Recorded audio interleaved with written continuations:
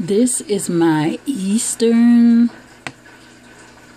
River Cooter. I think that's how you say it. Um, our grandma found him or her in her yard. Some people call it a hieroglyphic river cooter because of the designs. Um, as you can see the markings, if I can get close. I flip him and you can see his eyes and coloring.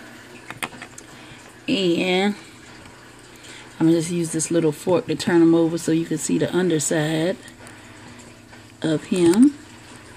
If you can see that. Oh, he doesn't like that. And I think he wants to get down. Yeah, and he does.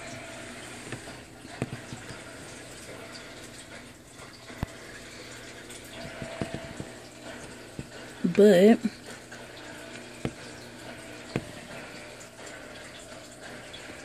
get a good look at him.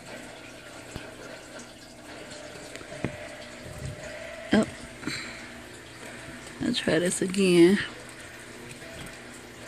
so you can see the underside of him and he'll flip over.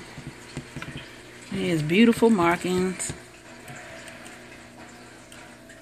I'm just going to get him out this corner and try to let him bask in some sunlight or lamplight. If he'll let me put him back up here. Oops. Okay.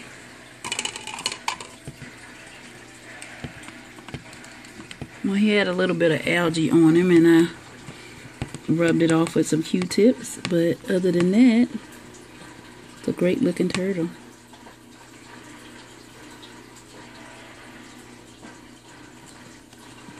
So I'm still learning about them.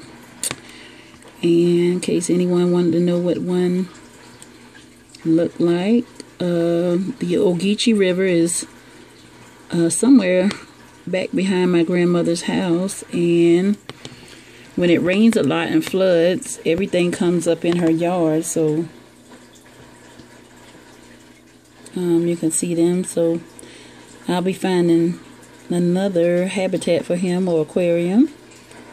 Um, so he can live a better life. Right now he's just a hatchling small trying to get you a view of that tail. There it is. It's come out. There it is.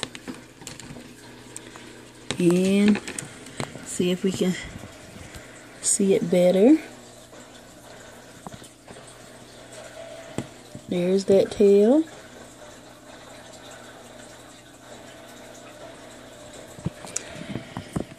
and this is what I feed him or her. Um, it's natural aquatic turtle food hatchling formula by Zoo Med. And I just put a couple of petals on the water top and he goes underwater and snaps up and eat it he eats well. And I leave this lamp on for like eight hours a day keep the water warm. Sometimes I cut it off at night. But other than that, you can see he's just a beautiful, beautiful turtle.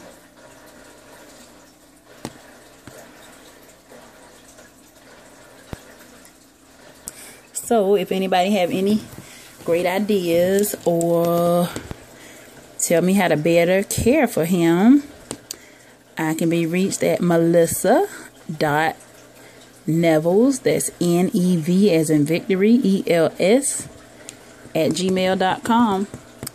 And I appreciate all the information I can get. Thanks.